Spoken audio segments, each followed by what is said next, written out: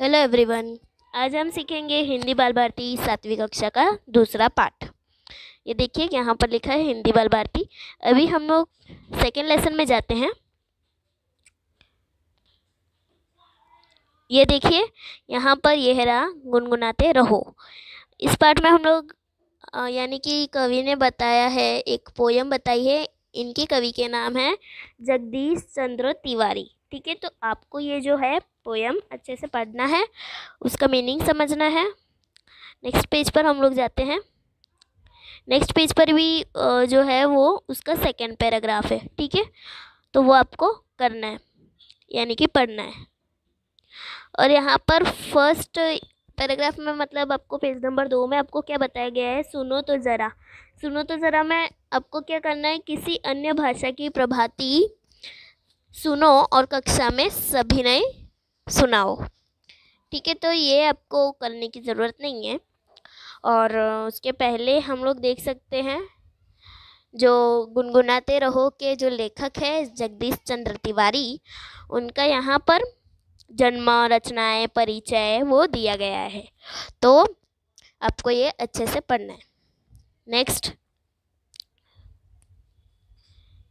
Next page पर हम लोग जाएँगे पेज नंबर चार पर। और पेज नंबर तीन पर यहाँ पर ऊपर देख सकते हो आप लोग शुरुआत में ही, अध्ययन कौशल। अध्ययन कौशल में क्या है? सुनी हुई किसी कविता का पुनः स्मरण करते हुए आशय पर आधारित टिप्पणी बनाओ। तो इसमें हमें टिप्पणी बनाना है, जैसे कि फ़र्स्ट क्या है? रचयिता है सेकेंड है कविता का विषय, और थर्ड जो है वो मूल मूल भाव है। ठीक है? नेक्स्ट पेज पर जाएँगे तो फ़र्स्ट में क्या लिखा हुआ है ये देखिए मैंने समझा। मैंने समझा यानी कि इस कविता में आपने क्या सीखा समझा है वो आपको यहाँ पर लिखना है।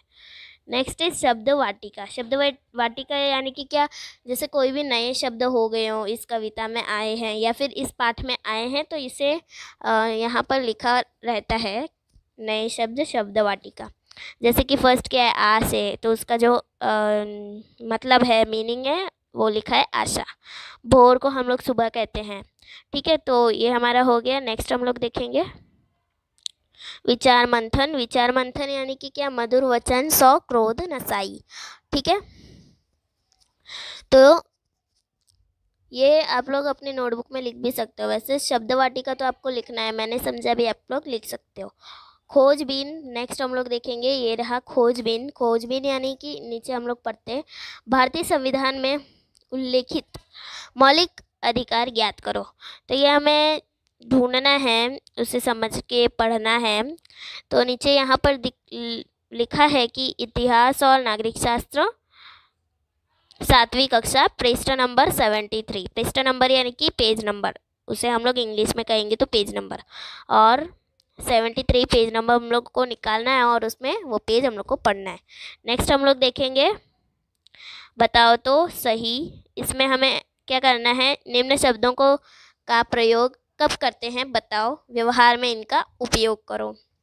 फ़र्स्ट क्या है हमारा? धन्यवाद। तो धन्यवाद तो हर कोई सेंटेंस में हम लोग यू यूज़ करते हैं। जैसे कि टी, टीचर ने आपको शाबाशी दी तो वैसे हम लोग धन्यवाद कह सकते हैं।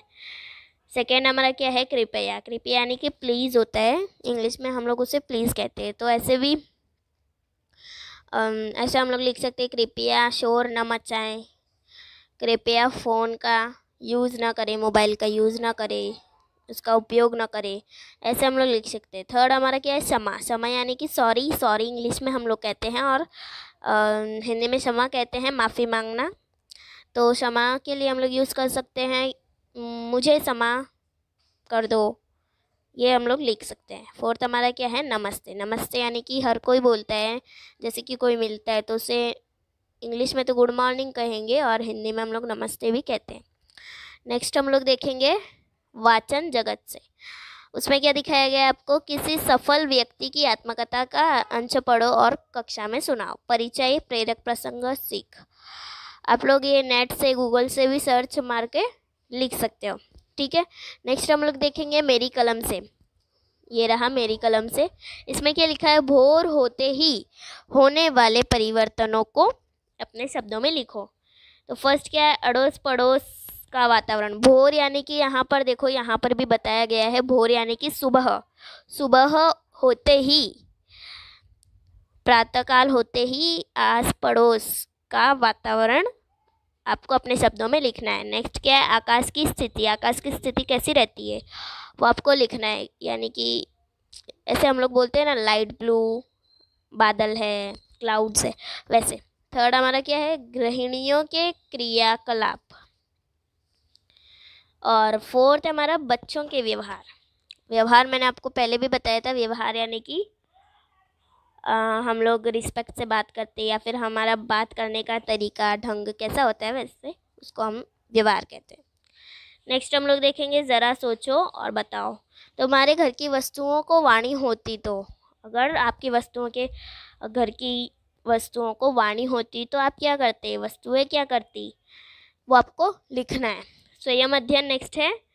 किसी अपठित पाठ्यांश का सूत्र श्रुत लेखन एवं शुद्ध लेखन करो, आपस में जांचो। ये जांचो जो है वो यहाँ पर लिखा हुआ है, आपस में जांचो।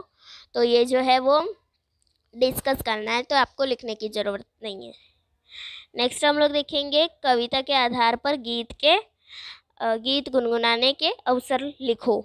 तो इसमें आप लोग, यहाँ पर हमारे पास चार ऑप्शन है क्या क्या लिख सकते हो आप लोग? देखो, मैं आपको अभी बताती हूँ। तो मैंने वैसे लिखा है ये तो मैं वो वही आपके साथ शेयर करती हूँ ओके तो ये देखो, यहाँ पर फ़र्स्ट में आपको बताया गया है, कविता के आधार पर भोर के गीत गुनगुनाने के अवसर लिखो ये वाला ओके ये जो नीचे का है, वो आपको नहीं लिखना है, ठीक है? तो आप इसका स्क्रीनशॉट ले लीजिए। ओके अब नेक्स्ट हम लोग देखेंगे। तो ये देखिए, हमारा जो है वो सदैव ध्यान में रखो। ये वाला जो है वो आप लोग लिख सकते हो, दुख के बाद सुखाता है। ये रियलिटी है। नेक्स्ट हमारा है भाषा की और नीचे दिए गए शब्दों में से मूल शब्द उपसर्ग उपसर्ग एवं प्रत्यय अलग करके लिखो। स्वदेशी, चिरकालीन, निरोगी, विस्मरणीय असावधानी, अपमानित, सुसंस्कारित, विनम्रता असफलता। तो ये देखिए, मैं आपको बताती हूँ अभी।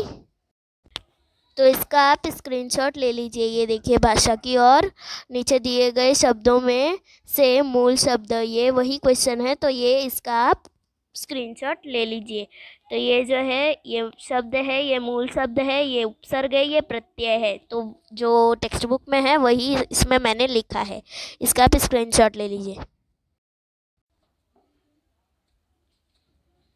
तो आज का जो हमारा लेसन है लेसन नंबर टू वो कंप्लीट हो चुका है।